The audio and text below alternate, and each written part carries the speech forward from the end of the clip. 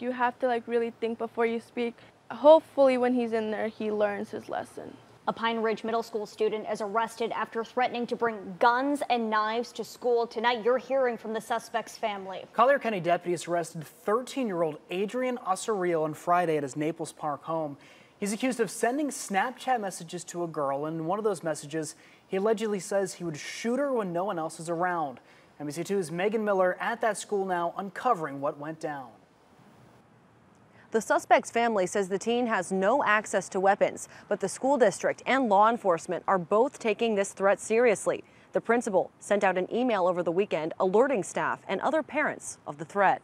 One day after kids at Pine Ridge Middle School learned about school safety, we talked about lockdowns, we talked about how to exit the school. Their parents got an email alerting them a student was arrested for making a school threat. It's not something that you ever want to hear is happening so close to home. To hear someone say that, thought like it could have happened, really like freaked me out because um, I do worry about that kind of stuff. The suspect, 13-year-old Adrian Osorio, is accused of sending messages to a girl on Snapchat, saying he would bring guns and knives to school and that she would get shot when no one is around. He would never hurt anybody like that. The suspect's sister says this all started with drama involving Osorio, the victim, and their friends. But I guess all this just like got out of hand and then my brother said some like messed up stuff and stuff like that. She says he's a good kid and just wanted the problems to stop instead making them much worse. Now, she hopes he can learn from this. You have to like really think before you speak. Naomi Stevens has a daughter at Pine Ridge. She says the school and the sheriff's office are handling this the right way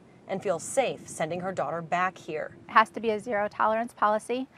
Uh, there's no other way to keep our kids safe these days, unfortunately. The suspect's family confirms he is still in custody.